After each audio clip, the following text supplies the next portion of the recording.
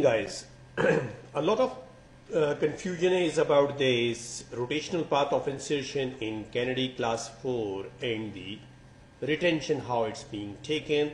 And probably the reason is that some of the things we cannot visualize. So I'm here to uh, solve your problem and to clarify the confusion with this video. So let's start. This is the question.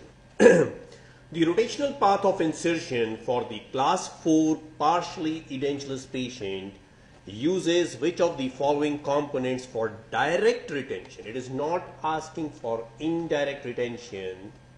It is asking for direct retention on the anterior abutments, not asking for any other place whether they are on molars or anywhere, anterior abutments. And we know that class 4 is anterior edentulous area crossing the midline.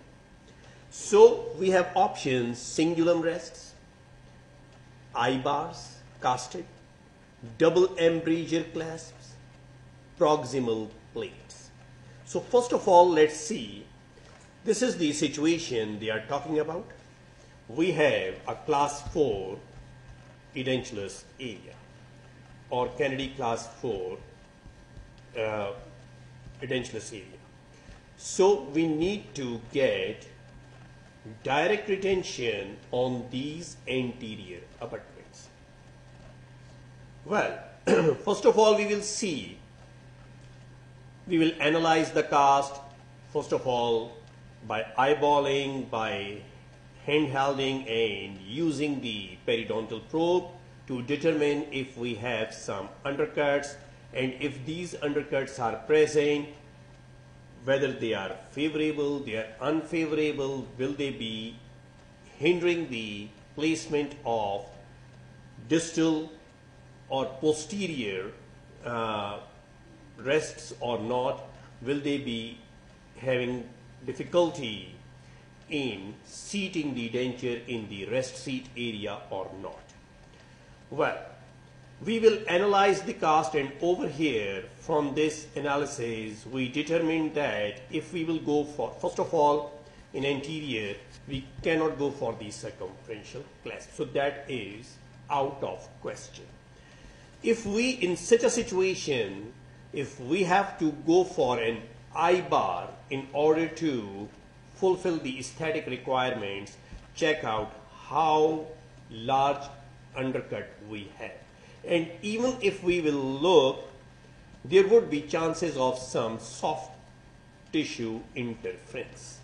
So if there will be such a situation, either we have to prepare this tooth uh, like quite substantially we have to prepare this tooth. We have to remove a substantial amount of the tooth in order to provide a proper guiding plane over here. Well, if we will do that, still we will have soft tissue interference. So, like in this situation, over here we have in the lower, I have taken it from some uh, uh, website. So I'm sorry, but uh, otherwise I've had no other option to use any other picture of very nice uh, explanation. So over here we have upper class 4 and lower Kennedy class 2 probably yes class 2 because I think there is a posterior tooth present over here. I'm not very sure about whether they have used it as an abutment or not. So they have utilized I-bars in the lower denture but in upper they cannot use the eye path. So now let's see what they have done. What is rotational path of insertion? All of us know. when one portion is inserted first, permitting rigid portions of the RPD, those are proximal plates to engage the undercuts.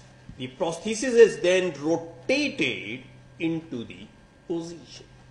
In the posterior quadrants limited to the tooth bone RPDs, most often used to restore the anterior extension defects with anterior extension. If you remember, I have shown you the picture of anterior extension denture where use of attachments or clasp is unfavorable. Why we have to go for the rotational path of insertion? What are the advantage? Elimination of unesthetic retainers. Those are clasp arms, the circumferential clasp arms. The clasp arms are replaced by rigid retainers. Rigid retainers. These rigid retainers engage undercuts and consist of a positive rest and a minor connector that is proximal plate.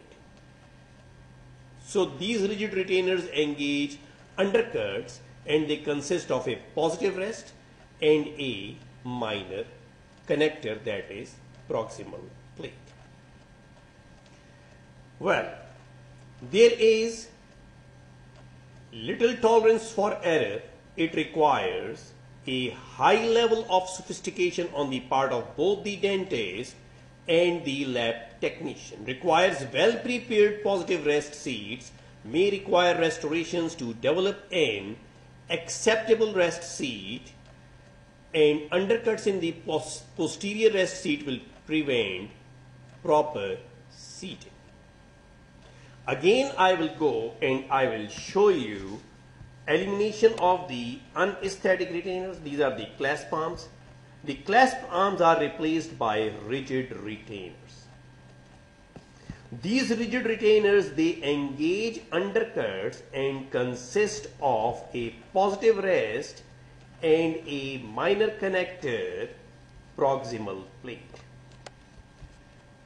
So, if we will check this question, whether these are cingulum rests, cast I-bars, double embrasure clasps or the proximal plates?